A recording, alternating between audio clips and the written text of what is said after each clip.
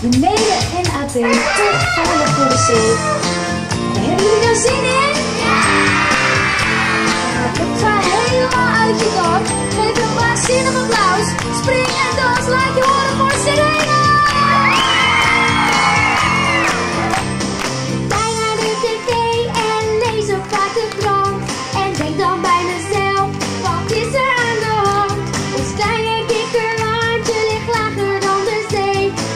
got you.